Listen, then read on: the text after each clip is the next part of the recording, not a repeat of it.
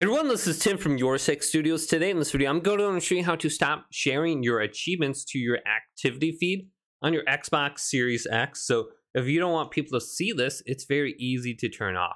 Just on the home screen here, let's go back to settings, then scroll on down to preferences, and then go to the right and go to activity feed. And then we will have one option under here called share achievements automatically. Just uncheck mark this, and then your friends won't see those. Now you can turn off the activity feed by going up to where it says account, go to the right and go to privacy and online safety.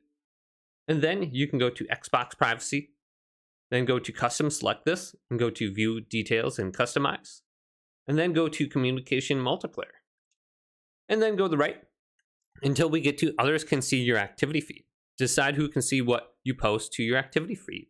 So you have everybody, friends, or blocks. So you can decide which one you want. So I'm just going to choose friends.